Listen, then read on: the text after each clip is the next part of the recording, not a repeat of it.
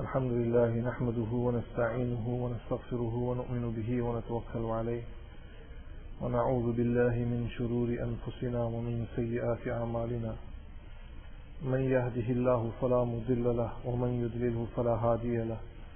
ونشهد أن لا إله إلا الله وحده لا شريك له. ونشهد أن سيدنا ونبينا ومولانا محمدا عبده ورسوله. أما بعد فأعوذ بالله من الشيطان الرجيم. بسم الله الرحمن الرحيم. وما آتاكم الرسول فخذوه وما نهاكم عنه فانتهوا. صدق الله العظيم. سبحانك لا علم لنا إلا ما علمتنا إنك أنت العليم الحكيم. رب اشرح لي صدري ويسر لي أمري وحل عقدة من لساني يفقه قولي. درش الله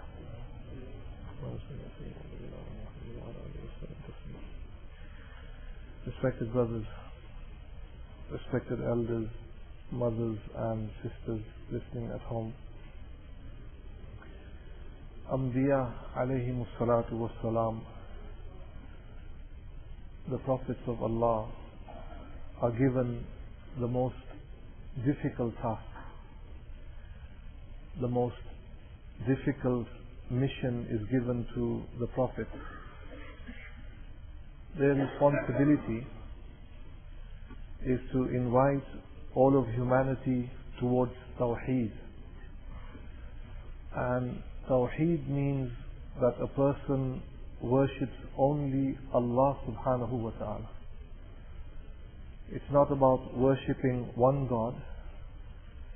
Tawheed means worshipping one God who is Allah. And that is the most difficult task given to any individual. And that is the responsibility of the prophets, Anbiya alayhi salatu wassalam. From the time of Hazrat Adam alayhi salatu wassalam until the coming of Rasulullah sallallahu alayhi wasallam, we see that all of the prophets that were entrusted this amanat to spread tawheed carried out their responsibility 100%. Allah subhanahu wa ta'ala says in the Quran, فَأَتَمَّهُنَّ about Ibrahim alayhi salatu wassalam, that this was a man who was perfect in his mission and that he did not compromise with the people and the community that he lived in. And when we see and study the seerah of Rasul sallallahu alayhi wasallam, we see that Rasul sallallahu alayhi wasallam also follows the footsteps of the father Hazrat Ibrahim alayhi salatu wasalam. Just to continue from where we had left off in the last session, 10,000 mujahideen, companions, march with Rasul sallallahu alayhi wasallam and enter the city of Makkah. The same people who oppressed the Muslims, the companions, forced them to migrate. Today they surrender completely, unconditionally in front of Rasulullah sallallahu alayhi wasallam, completely subjugated. And subhanallah, the very first action of Nabi Kareem sallallahu alayhi wasallam. And I want to expound furthermore on this topic of Tawheed today, so we understand the responsibility that was given to Rasulullah sallallahu alayhi wasallam and in a way it also becomes our responsibility. The first action taken by Rasul sallallahu alayhi wasallam was to purify and cleanse the house of Allah, Baytullah Sharif, the Kaaba. Pagan Arabia, the people in Arabia had drifted away from Tawheed. They had forgotten the message of Hazrat Ibrahim alayhi salatu wasalam. And slowly with the new generation, they committed shirk and so much shirk that the Kaaba was used as a storage house for the idols. and more than 300 idols were stocked up inside the Kaaba. Some small, some huge, some were hidden and concealed, and some were right towards the ceiling. And Rasul sallallahu alayhi wasallam purified the Kaaba and cleansed it, and all of the idols were broken into many, many pieces. Subhanallah al-Azim.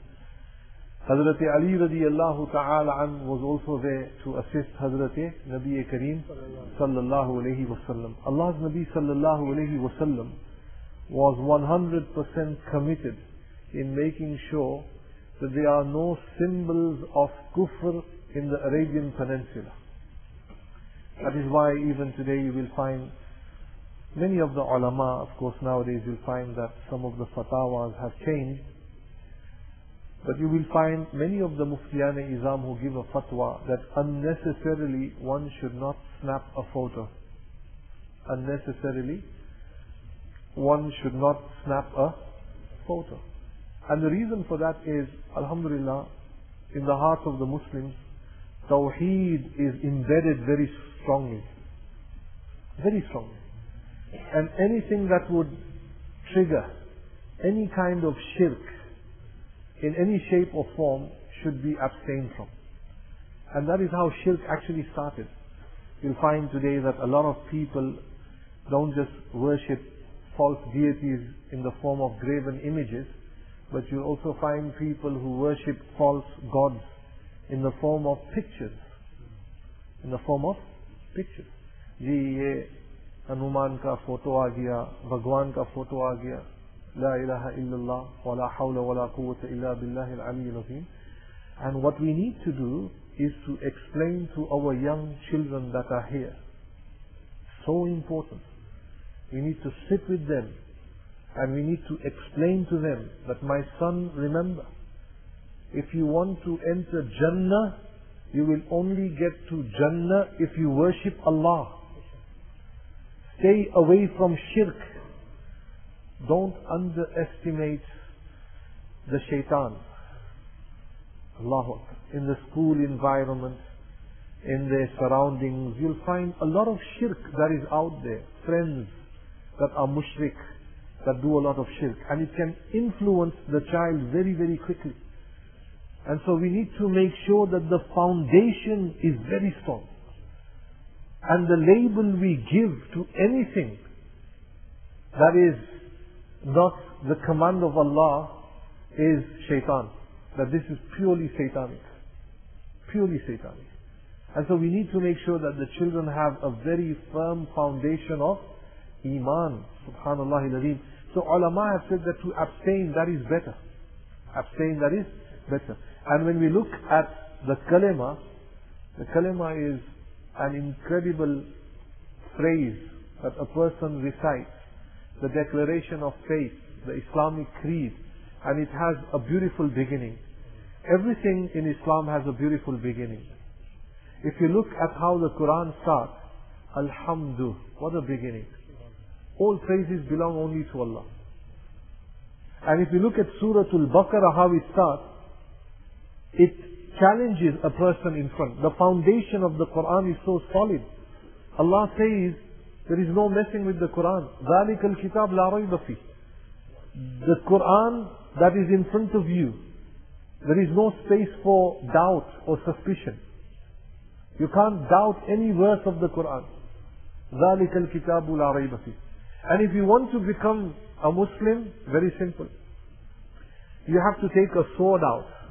What do you have to do? Take a sword out. And that sword is the sword of La. What is it? La. Can you see the La there? Declaration of faith? On top? Mehrab ke upar dikhai na La? That is a sword. And it's a unique letter in the Arabic language. La means complete negation complete negation. You say La ilaha. There is no God. There is no God. If Allah wanted, Allah could have said that the declaration of faith is that you say you only worship one God. You only worship one God. But the foundation is so strong. Allah is saying no. La ilaha. There is no God illallah except for Allah. Except for Allah. So when people say to you that, oh, we also worship one God, that is also wrong. It is not about worshipping one God. It is only about worshipping Allah. So if you worship Allah, you're in the right lane. If you don't worship Allah, your line will take you straight to Jahannam hellfire. And so La means there is no God but Allah. And subhanallah, let me open up the kalima for you. La ilaha illallah does not just mean man-made gods. It just does not mean man-made gods. It's not about just for someone who believes in other things, other objects and takes them as deities. But it has a very deep meaning. La ilaha illallah has a very deep meaning. Anything, anything that will turn you away from the remembrance of Allah, that can also be a false God. Anything that will turn your attention away from the true purpose of life, anything that will turn your attention away from the true purpose of life, that can also be a false God. It has a very deep meaning. That is why in the Quran Allah says, أَفَرَأَيْتَ مَنِ اتَّخَذَ إِلَهَهُ هَوَى Have you seen that man who has taken his carnal desire as his God? You find some people who have the habit of taking drugs. And he has taken his carnal desire as his God. This is what Allah is saying. Because he is addicted to guna. And so he has to obey his nafs. And when the time comes, he needs to take that. Or Al-Aman al-Hafiz, a man who gets addicted to zina, and so he obeys his nafs. Or a man who is addicted to any guna, any kind of guna. And Allah is saying this is also shirk. Because you are obedient to your nafs, and nafs is dictated also by the shaitan. And so it has a very, very deep meaning. And that is why Allah subhanahu wa ta'ala has given us this beautiful declaration of faith. We need to understand what is the kalima. La ilaha illallah Muhammadur Rasulullah. This phrase is uttered 17 billion times in 24 hours. If someone was to say that people don't praise God enough, then they haven't met a Muslim yet, have they? If people say they, if people say that people don't praise God enough, then they haven't met Muslims. Muslims praise Allah 17 billion times. Just this declaration of faith. La ilaha illallah Muhammadur Rasulullah 17 billion times. Umar is looking puzzled. He wants me to be a mathematician in front of him and let us work it out. So for an example, in your at-tahiyyat, you have the declaration of faith, Ashadu Allah ilaha illallah wa ashadu anna Muhammadan abduhu wa rasuluh. So minimum, let us take the package of salah the package of salah. In the package of salah in the 24 hours, if you were to read the kalima 17 times, 17 times, and say you have 1 billion Muslims in the world today, how many times is that? If they read it once, 17 billion ho But we are more than 1 billion. Alhamdulillah, we are more than 1 billion. But let's say 1 billion. So if one billion people read the At-Tahiyyat in their salam minimum 17 times, 17 billion times you are declaring that there is no God but Allah and that Muhammad sallallahu alayhi wasallam is his final messenger. And there are two distinct parts in the kalima, two distinct parts. One is complete negation and the second part is affirmation. One is negation and one is affirmation. ایک نفی ہے और एक isbat in Arabic. Allahu What is Iman, my respected brothers? We need to actually understand that and why this mission was given to Anbiya alayhi salatu wassalam. I have hardly seen a person, and Alhamdulillah, many times this opportunity is given to us. I have hardly seen a person who wishes to embrace Islam and he sits in front of you and he says, La ilaha illallah, Muhammadur Rasulullah, and tears don't flow out from his eyes. Hardly. मैं अल्लाह के घर में बैठा हुआ हूं really no exaggeration and I always look at the eyes that is the power of the kalima that when a person is sincere and when he says ashhadu an la ilaha illallah wa ashhadu anna muhammadan abduhu wa rasuluh it has an impact on his heart and it will affect the eyes it will affect the eyes this is the power of the kalima one hadith which is narrated by Hazrat Abu Huraira radiallahu ta'ala which is in the Musnad of Imam Ahmad rahmatullah alayh. Hazrat Abu Huraira radiallahu ta'ala says that Rasul sallallahu alayhi wa sallam said to us, Jaddidu imanakum. Renew your iman. Renew your iman.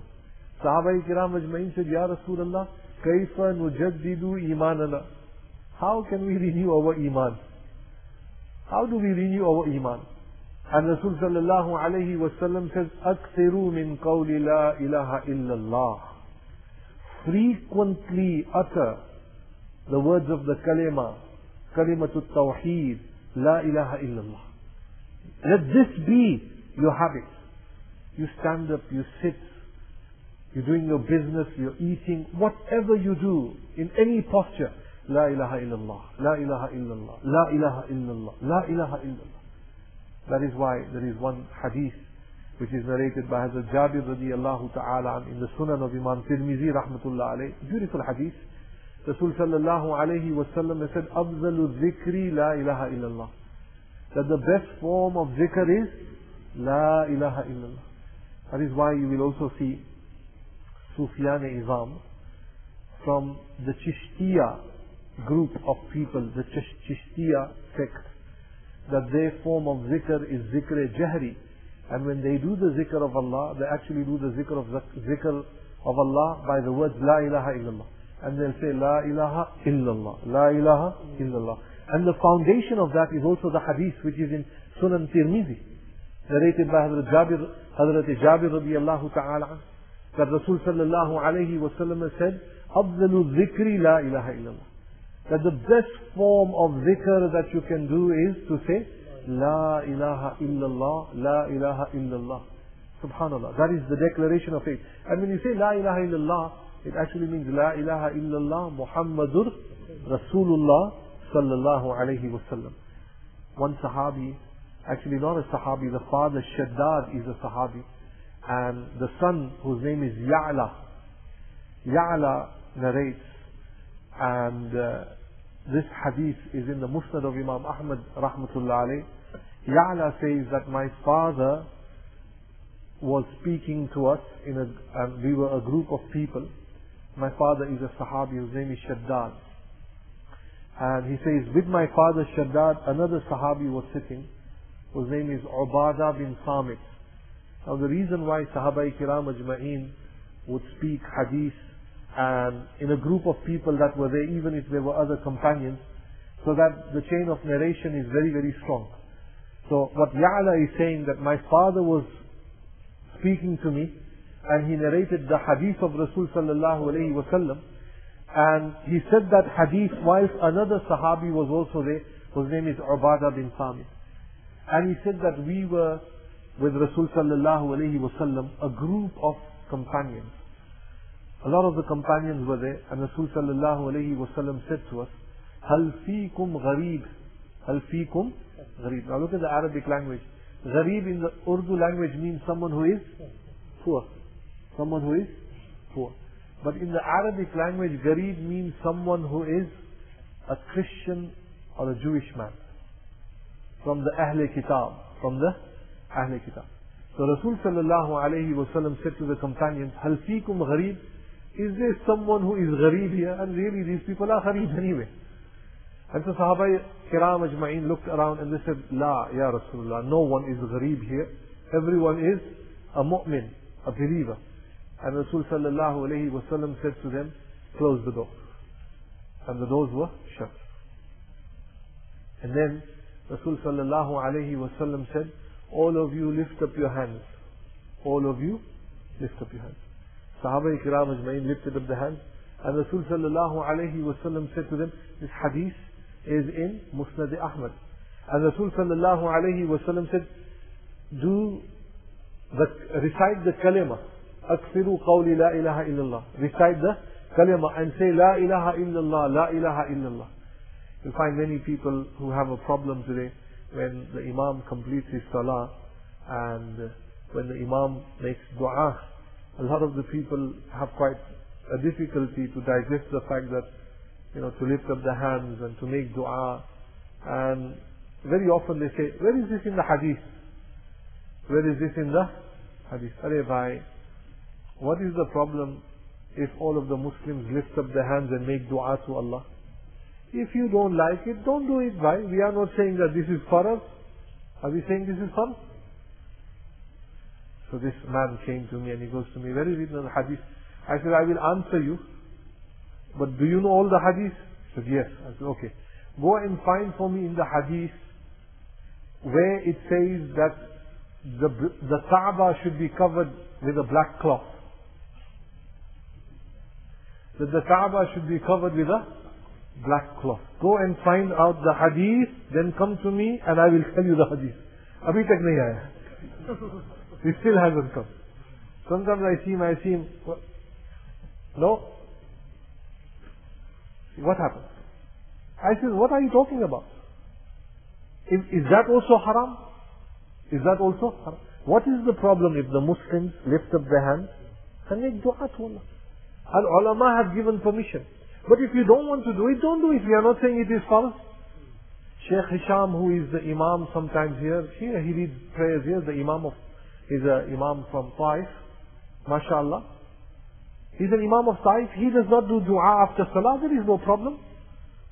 But Allah says, إِيَّاكَ نَعْبُدُ وَإِيَّاكَ نَسْتَعِينَ That your ibadat and isti'anat is only for Allah. And only you we worship and only you do we seek assistance from. And so we are only worshipping Allah and we are only doing uh, and mentioning those supplications which are in the Quran and in the Hadith of Rasul sallallahu alayhi As it is, there is verification in the Hadith that Rasul sallallahu alayhi wasallam after his salah would, would recite certain supplications like Allahumma a'inna ala zikrika wa shukrika wa husni ibadatik like Allahumma anta salam wa minka salam tabarakti ya dhal jalali ikram and so this is in the musnad of Imam Ahmad rahmatullah alayh that he gathered all the companions and this was an ijtima. And he said that lift up your hands and aksiru qawli la ilaha illallah and say la ilaha illallah. And so the companions were saying la ilaha illallah, la ilaha illallah. Thereafter Rasul sallallahu alayhi wasallam says enough. And he says Alhamdulillah, all praises belong to Allah. And he said, Ya Allah, you have sent me as a Nabi to the people to convey the message of Tawheed to them. And this is the message of Tawheed, La ilaha illallah, that you worship none but Allah. And you will never break your promise. And you have promised me that you will grant people who say La ilaha illallah Jannah. Thereafter Rasul sallallahu alayhi wasallam contemplated and he looked down and he looked at all the companions and he said that let me give you the glad tidings that Allah Allahu lakum. Allah subhanahu wa ta'ala has forgiven all of you. Allah has forgiven all of you. This is the power of the kalima, kalima to tawheed. Don't underestimate that, my respected brothers and elders. And in fact, there is also another hadith of Rasul sallallahu alayhi wa. And this hadith is in Sahih Bukhari. Abu Dharr radiallahu ta'ala is the narrator. And Rasul sallallahu alayhi wa sallam said to the, the companions that were there, ما من عبد قال لا إله إلا الله ثم مات على ذلك إلا دخل الجنة. There is not a person who testifies to La ilaha illallah, then he dies, but for sure Allah will grant him Jannah. Now Hazrat Abu Dharr radiallahu ta'ala was amazed. And he said, Ya Rasulullah, just by saying La ilaha illallah, Allah will give him Jannah. And he said, Wa in zana wa in sarak. Even though he has fornicated and he has committed theft, and he has committed theft, saraka, chori karna. Allah's Nabi said, Wa in zana wa in sarak. Even if he has committed fornication and committed theft. This kalima is so powerful that it will delete all your sins. He was so amazed that he repeated the second time, وَإِن زَنَا وَإِن سَرَكَ Again the same answer. The third time, he said, وَإِن زَنَا وَإِن سَرَكَ Rasul sallallahu alayhi wa sallam this time says, وَإِن زَنَا وَإِن سَرَكَ عَلَى رَغْمِ أَنْفِ أَبِي ذَرٍ Even if he commits fornication and has committed theft, although you disapprove of it, O Abu Dhar, although you disapprove of it, O Abu. The meaning of the hadith is, it doesn't mean that you say La ilaha illallah and commit sins. It means that the kalima is so powerful that one day it will give you the tawfiq to repent. And that repentance will be a sincere repentance. Allahu Akbar.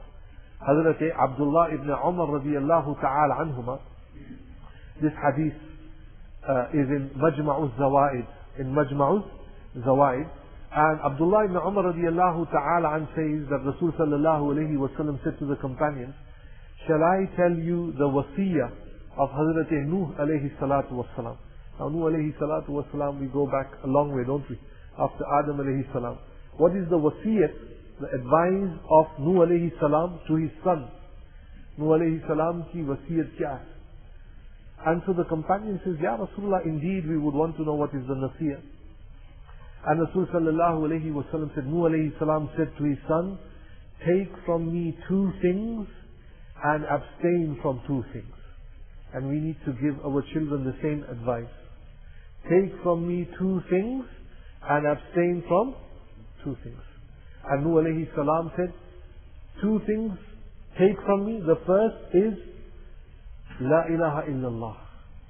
Let your day and night be that you sing the words La ilaha illallah. That you hymn the words La ilaha illallah.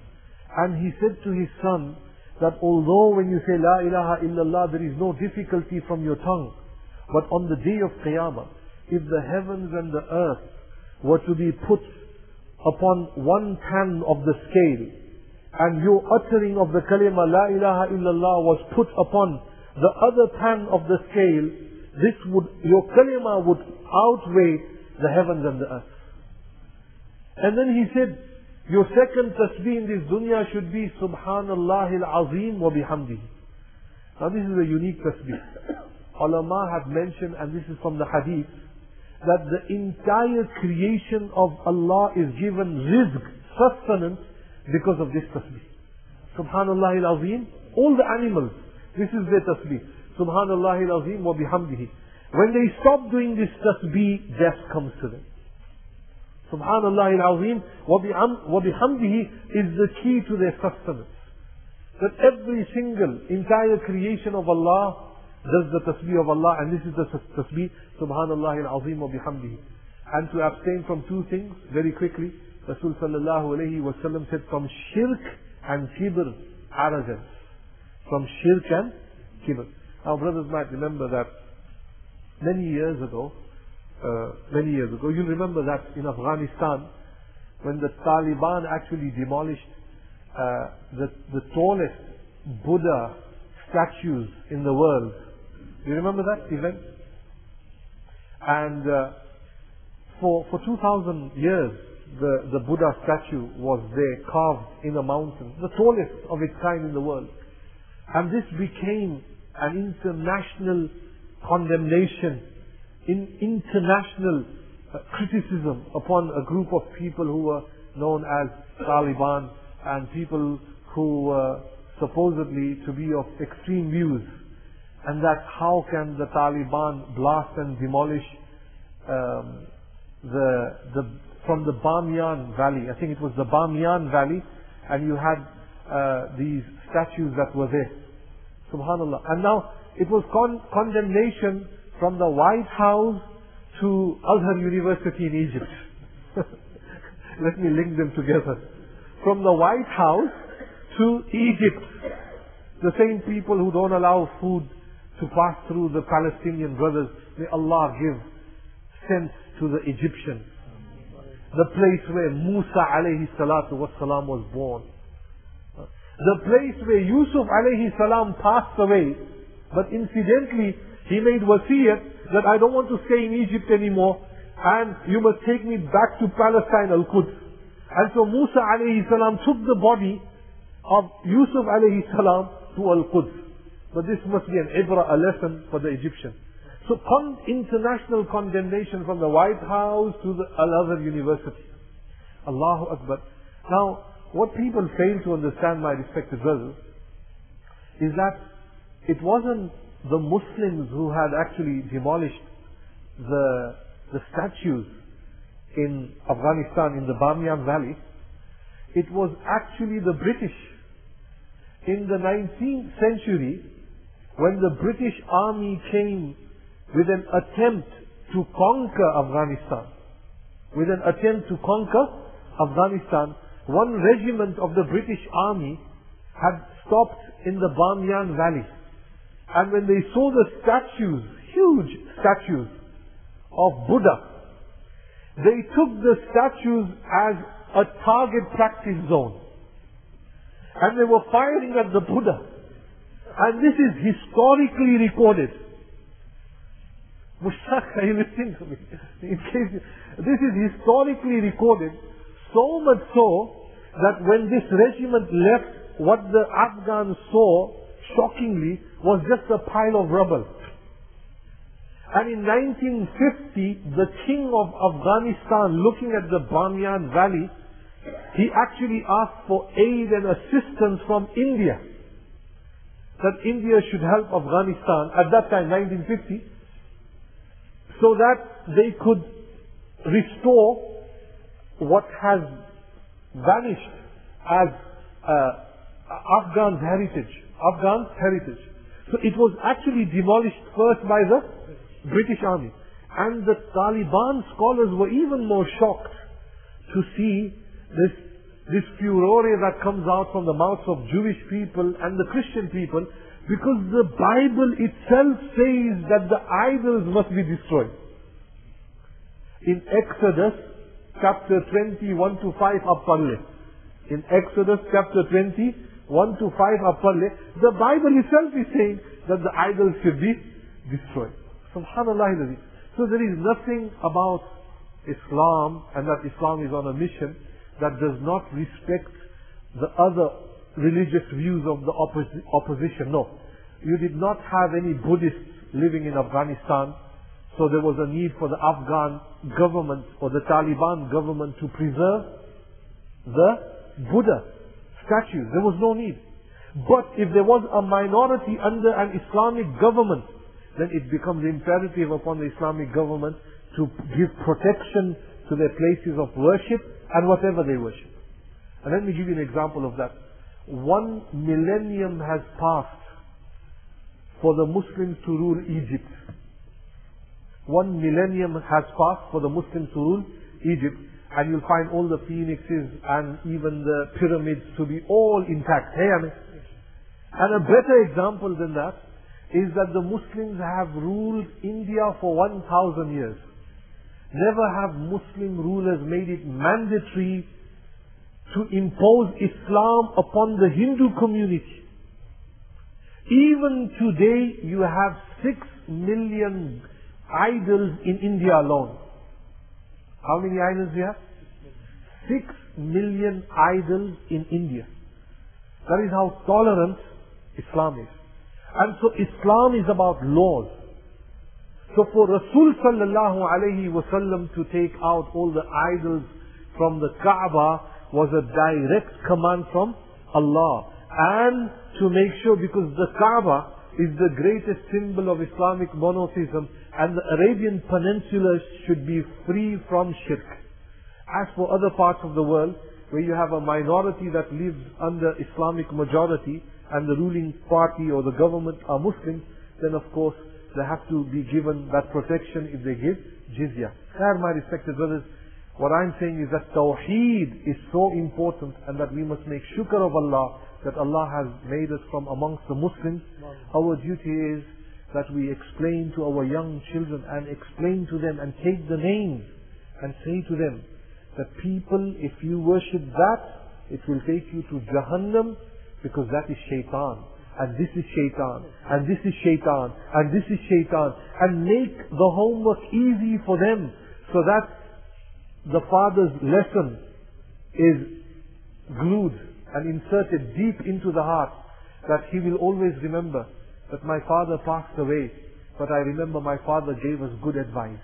Just like how Luqman alayhi salam gave good advice to his children. Just like the prophets gave advice to their children. Ya bunayya, O my children, who will you worship after my departure from this dunya?